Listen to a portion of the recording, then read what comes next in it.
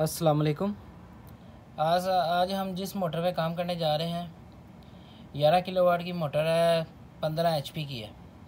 RPM जो है, चौदह सौ आर है और फिफ्टी साइकिल में है। पोल पिच जो है, आठ, दस, बारह। टर्न जो इसमें है, पंद्रह पंद्रह टर्न है, पाँच वायर से। और छत्तीस लाट की मोटर है ये। छः सेट हैं। कनेक्शन जो है, टॉप बॉटम है। वायर जो जाएगी इसमें छः किलो सात सौ सात सौ, आठ सौ।